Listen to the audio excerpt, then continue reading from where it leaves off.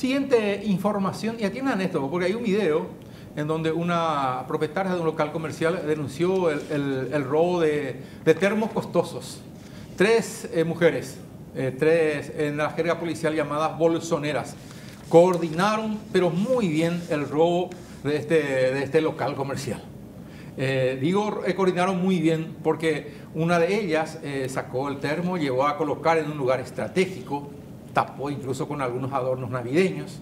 La otra miraba si, si, las personas que atendían el negocio, si no le estaban a ellas precisamente vigilando.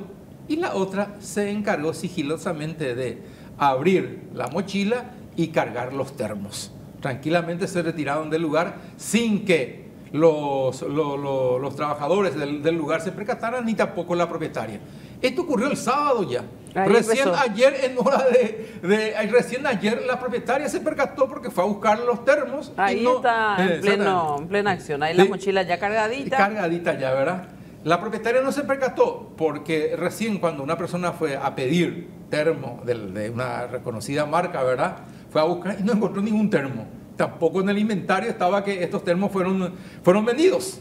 Entonces eh, dijo la propietaria, revisamos el circuito cerrado y efectivamente nos percatamos de que estas tres mujeres fueron las que perpetraron el robo dentro de este local de esos termos eh, que, cuyo valor eh, total ¿verdad? de lo robado sobrepasa los un millón eh, de, guaraníes, ¿verdad? Sobrepasa el millón de guaraníes. Qué bárbaro, como sí. golpazo. Sí, ¿verdad? La, y la forma en que actuaron, lo que es llama, llamativo, la, llamativa la forma en que actuaron, ¿verdad? No, llamativa, pero sí, por lo visto tenían bien planeado. Coordinado. sí, bien coordinado, sí. Sirve este material para que otros comerciantes vean el modo operandi y estén atentos y sobre todo, ahora que viene la fiesta de fin de año, van a estar con todo. Sí, efectivamente. Este, este local comercial se ubica en Lillo, esquina Doctor Caballero, en el barrio Herrera de, de Asunción. También estas imágenes van a servir a la policía para tratar de, en primer lugar, reconocer a, estas, mujeres y después la posterior detención porque hay denuncia concreta en la comisaría 11 de, de Asunción. Vayamos a escuchar a la propietaria Sonia Pereira.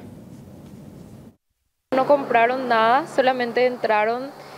Eh, una de ellas empezó a juntar los termos, llevaban un rincón donde, donde podían esconder y otra es la que le, le, ayudaba a que no se le vea, ¿verdad? Aprovechaban momentos donde las chicas no, las vendedoras no estaban mirando, entonces ahí eh, le decía a la tercera que empiece a guardar en las mochilas. Y llevaron así cuatro, cuatro de los termos que son así de valor muy elevado, ¿verdad? Termos. Eh, Stanley.